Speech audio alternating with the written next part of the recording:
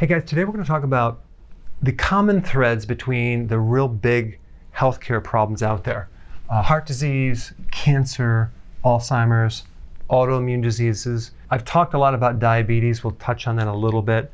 Um, and there's other ones, but these are the, the main ones. So let's first talk about heart disease. What happens in the blood vessel of someone with heart disease is they start developing plaque. Okay, and the plaque is uh, built up with cholesterol, and the person has usually high LDL, and that's called bad cholesterol, supposedly bad cholesterol. But in reality, LDL is low density lipoprotein. Okay, it has cholesterol in it, but this is a protein. Okay, and there's this huge focus on cholesterol, but not any problem with protein. If we take a look at a, a plaque, it's composed of cholesterol, calcium, and proteins. Okay, but people don't say to avoid protein, and they don't tell you to avoid calcium either, right? Even though calcium makes up this plaque, uh, they really target this thing called cholesterol. Now, the thing you need to know is before this piece of plaque develops, there's always um, something that starts it, okay? And it's usually some inflammatory situation going on. There's some type of damage in the wall of the artery in the heart, okay? And then it starts to build up. And one of the best tests to do for the heart is called a coronary artery calcium test. So the coronary artery calcium test is way more accurate in detecting heart disease than LDL or cholesterol or anything because they're looking at the calcification. So with heart disease, we have something that destroys the uh, wall of the artery. Usually it could be any number of things. It could be an infection from a microbe. It could be uh, free iron in the body. It could be some type of oxidant. It could be um, a lot of sugar, which is very, very common, like high blood sugar.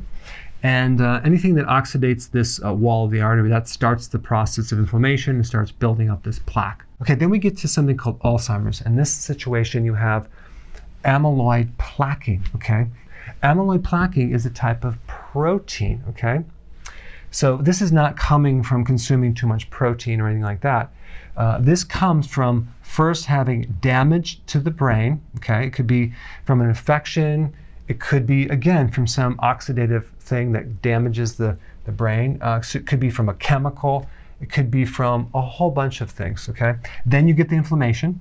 Then what you have happen is the replacement of the damaged piece of the brain for amyloid uh, protein. So the body is trying to heal or protect or trying to patch something up. It's the same thing with heart disease. This plaque, you know, is considered something really evil, but it's just trying to help the body heal this original wound right here. Same thing with Alzheimer's. What's unique about Alzheimer's is that you have cells that just can't take up insulin. So they're very hypoglycemic and the, the cells need certain glucose or fuel like ketones.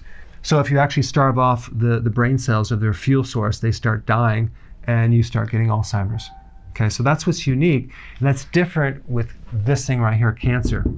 Because in cancer, you have first stage is damage to the mitochondria from some free radical thing or oxidant, like it could be free uh, iron, it could be radiation, it could be a chemical in the environment, a pesticide. There's all these things called carcinogens, right? So it creates damage within the mitochondria. Then, as a way to salvage the mitochondria, which is energy factory, the body shifts to a different type of metabolism. Okay? It's like an ancient pathway that we don't normally use, but the body then switches to this thing. At this level, I don't want to give you the name of it and explain that because that opens up a whole dialogue. But just realize that the body's shifting to a different way that it metabolizes energy. It's going to now run on pure sugar or glutamine, which is a very specific type of amino acid. Okay? These are the two types of fuel. Now, the thing that's interesting with cancer is it spreads and follows areas of inflammation.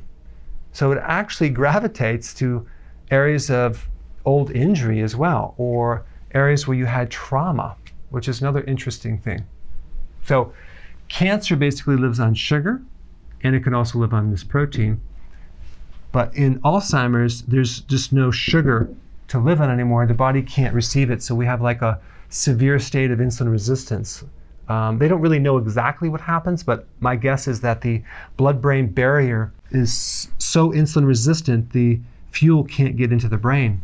Of course, another mode of fuel would be ketones, but they don't really tell you about that because then you can actually, the cells can take up ketones and they don't really need the uh, glucose. Then we have something called autoimmune, okay, where the body is developing antibodies which are against itself. So you have a situation where our own immune system is attacking our own organs or glands. Now that's weird, isn't it? And it's the inflammation as a result from this immune war that creates the collateral damage. Like in rheumatoid arthritis, for example, or MS, you have your own body is destroying everything in its pathway. Now, there's many different theories as to the cause of this, but it makes sense that the body is trying to kill something off that it doesn't need, like some microbe or something that shouldn't be there. And there's this misdirection, and the body ends up attacking itself. Now, another interesting point about autoimmune is there's usually always an, a stress event that occurs right before a person develops these antibodies, which is interesting. The loss of a loved one, they have this trauma, and then they get this autoimmune disease, okay? It's just an interesting point. So I think what's happening, it's an overwhelming um, stress to this entire system, usually probably the adrenal glands, and then there's some loss of control there, and the body um, tags the wrong thing. That's what I think that's happening. I don't know. It's, it's just my, my guess at that. But in autoimmune, you also have amyloid plaquing.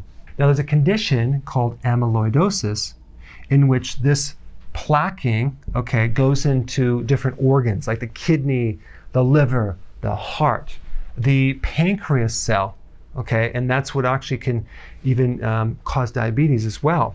So again, a common thing is this protein. Protein is involved in autoimmune. There's protein involved in heart disease. There's protein plaquing involved in Alzheimer's. Uh, so it's it's another common thread. And you have, of course, inflammation. Inflammation is like the, the common theme between all of these conditions. All right, so I want to give you some key things, six things that you can do uh, based on this data to kind of prevent these issues. Number one, you want to eat foods that give protective factors, okay? There are certain foods like cruciferous, for example, that can actually protect the mitochondria. There's foods high in vitamin B1 that protect the mitochondria, um, especially from diabetes and blood sugar issues. There are foods like vitamin C are antioxidants that protect the heart, vitamin E to protect this right here. There are foods that protect the brain. There are foods that protect the immune system. Okay, so you want to start eating foods cruciferous, grass fed, foods with healthy fats. Those are very, very important. Avocados, cod liver oil, for example, is really good. Number two, you want to keep your stress as low as possible. So if you're in a situation where it's just overwhelming, do something quick to minimize that. Don't be in a situation where the stress goes on and on and on for months and months and years and years. I see that all the time because that could potentially set you up for this right here.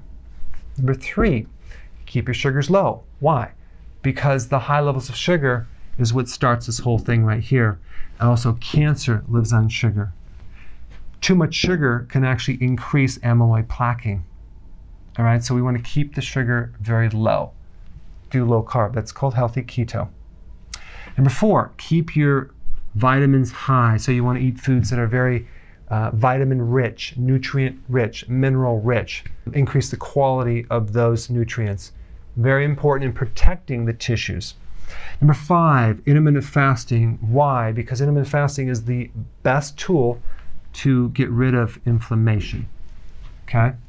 So you can at least take that piece of the puzzle out of the picture if you do IF. Very therapeutic. The body goes into an interesting um, shift in that it starts to heal and repair when you do intermittent fasting. It's fascinating. You would think that if you stop eating so frequently, it would go the reverse, but it doesn't. Number six, gut health. And this is the last thing I'm going to talk about because you have way more microbes in and around your body than you have your actual cells. And it's the balance of these microbes that can either really help you or hurt you depending on what kind of balance that you have. And especially when you're dealing with the immune system, you want to make sure your gut health, you have enough probiotics, you have enough uh, fiber from the vegetables to feed the microbes to actually support a healthy uh, immune system. All right, well, thanks for watching. Hey, if you're liking this content, please subscribe now, and I will actually keep you updated on future videos.